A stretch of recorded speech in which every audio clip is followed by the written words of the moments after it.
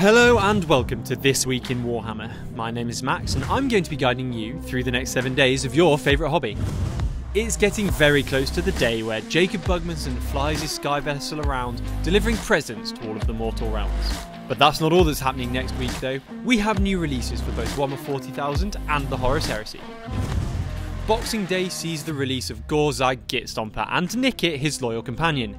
Gorzag is based on a classic piece of art from the game Gorkamorka. He makes an incredible Ork Nob and a brand new painting challenge. You can grab these models from our Games Workshop and Warhammer stores from the 26th of December. They'll be available on the web store shortly after so that everyone will have the opportunity to get these awesome models for themselves. Christmas Day sees the release of the legendary Saul Tarvitz, available for pre-order from Forge World. The Emperor's Children's Space Marine remained loyal to the Emperor, even as most of his legion joined Horus in his great betrayal. He is a real hero. Pre order it from Friday and lead your loyalists to an incredible last stand.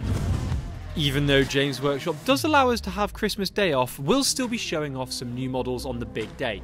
Make sure that you don't miss a glimpse of just some of the incredible miniatures that 2021 has in store. Warhammer TV will also be running some of our most popular shows from throughout the year to keep you company over Christmas.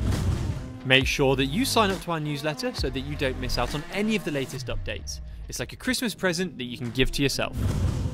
And as always, stay up to date with all of our goings on, follow our Facebook pages, YouTube channel, Instagram, Twitter, and Twitch.